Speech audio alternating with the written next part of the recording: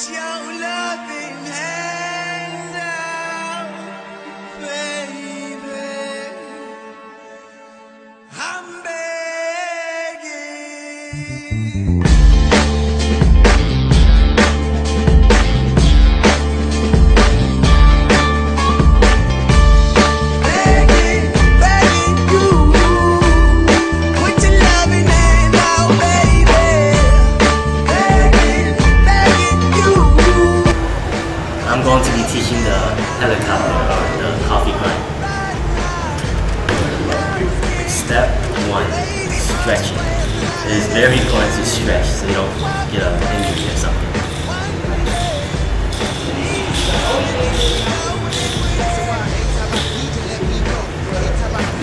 Step two, get this position.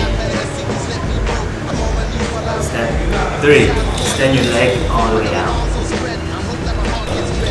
Step four, you're gonna want to rotate your leg around you you're top of it, carry the weight over, and then you link it. Here's how it looks like.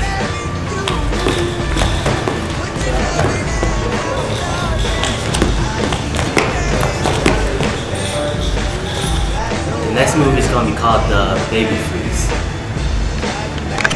Step one, be in this position again. Step two, extend your leg out again. Step three, take your right elbow and put on your hips. Then your left elbow on your knees.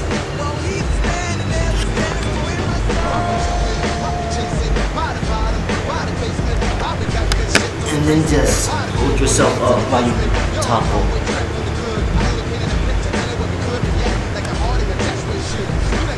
When you're doing this, the feet don't really matter how they go just hang around. And this is how she